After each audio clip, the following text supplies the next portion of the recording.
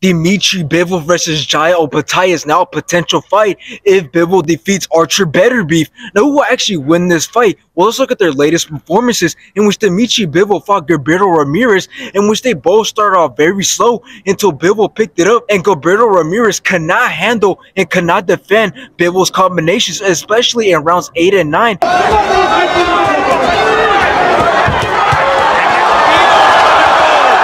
in which in the end Bivol won by decision. After this, Bivol went on to fight Lyndon Arthur, in which he completely destroyed Lyndon Arthur in this fight, in which he even dropped him in round 11.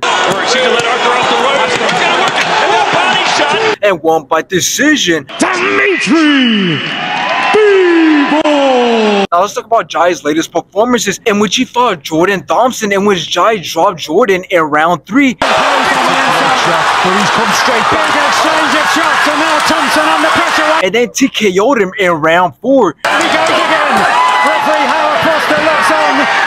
After this, Jai went on to fight Ellis Zorro, in which he knocked him out in round one. Two fox. Back on. Oh, big shot.